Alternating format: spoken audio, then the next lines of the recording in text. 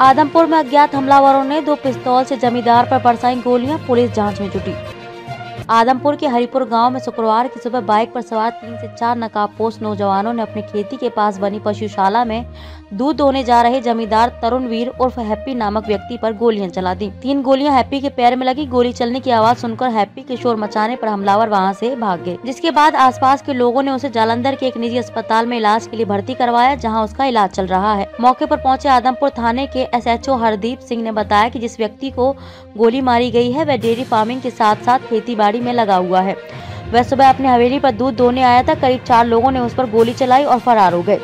फ़िलहाल घायल व्यक्ति का जालंधर के निजी अस्पताल में इलाज चल रहा है और पुलिस मामले की जाँच कर रही है। पुरानी रंजिश के चलते हुआ है हमला। इलाका निवासियों का कहना था कि तरणवीर पर पुरानी रंजिश के चलते हमला हुआ है। हमलावर उसके घर से बाहर निकलने का इंतज़ार कर रहे थे और जैसे ही वह अपने घर से बाहर निकल के थोड़ा आगे गया, उस पर गोलियाँ चला दी गई हैप्पी पर गोलियाँ चलाने वाले आरोपियों की पहचान के लिए पुलिस इलाके में लगे सीसीटीवी कैमरे खंगाल रही है, जिस तरफ़ से आरोपी आए हैं और फरार हुए, वहाँ पर कई जगह कैमरे लगे हुए हैं। बाद दोपहर तक पुलिस सीसीटीवी कैमरे की फुटेज चेक कर रही